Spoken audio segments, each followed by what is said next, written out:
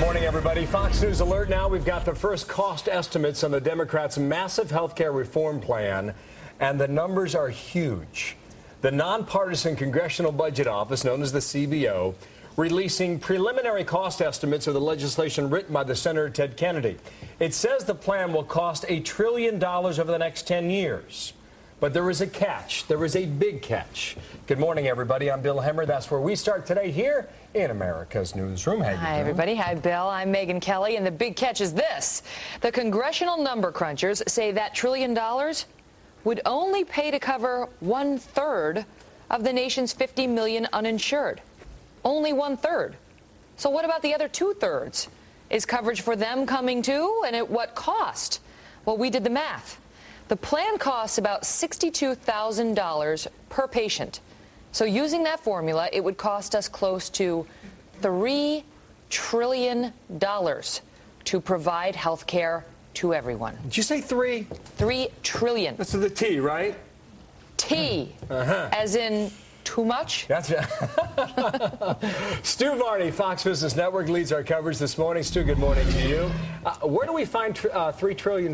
Well, you're supposed to come up with it through savings in the distant future and presumably a lot of new taxes. You know, Bill, this, this is the report, and this is essentially a nuclear bomb chucked into the middle of the healthcare reform debate because cost, price tag is everything here.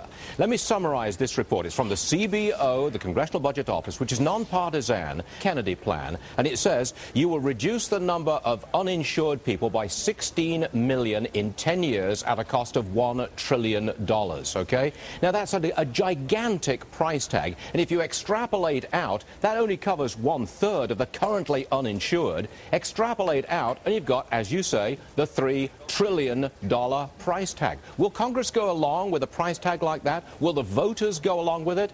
I mean, I don't think so, quite frankly, Bill. Well, you have to wonder about these modern Democrats going back home on the weekends yeah. and getting an earful from the constituents. You might be right about that. You said something in your first answer. Yeah. You said savings. Where does the savings come from? Okay, Steve? the savings are going to come down the road, years in the future, by cramming down on hospitals, paying them less, cramming down on doctors, paying them less, figuring out, according to government bureaucrats, what is the correct form of treatment for a given kind of, uh, of, of a situation. That's what they're trying to do. These are, these are savings which will come way in the distant future. And who knows whether they'll actually materialize. The other side of the coin is you've got to have new taxes because you've got to pay for this thing.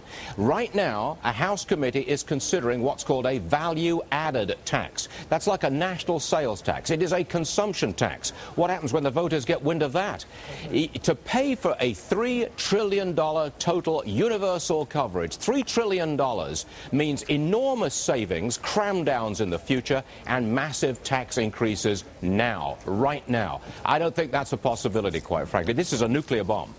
Nuclear bomb. Yes, it is. Wow. It's, it's, it's, just been chucked into the middle of the healthcare debate because at issue is the price tag. Yeah. Granted, it's a, it's a valid political goal to cover everybody, but what's the price tag? If it's $3 trillion, that's a nuclear bomb. It's a non-starter. Stu Varney, thank you for that analysis, okay? Say